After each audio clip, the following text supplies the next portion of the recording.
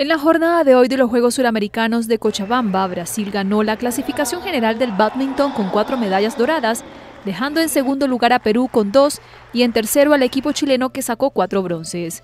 Los tres equipos subieron al podio en la jornada final de esa disciplina. La categoría individual femenina quedó en manos de la brasileña Fabiana da Silva, que relegó al segundo puesto a la peruana Daniela Macías. Las peruanas Paula Latorre e Inés Castillo recibieron bronces. En la serie de dobles femenina, Macías y la también peruana Danica Nishimura se llevaron la medalla dorada al vencer en la final al dueto brasileño conformado por Da Silva y Luana Vicente. El brasileño Igor Coelho de Oliveira venció en la final individual masculina a su compatriota Artur Pomoceno, logrando el oro y la plata para ese país.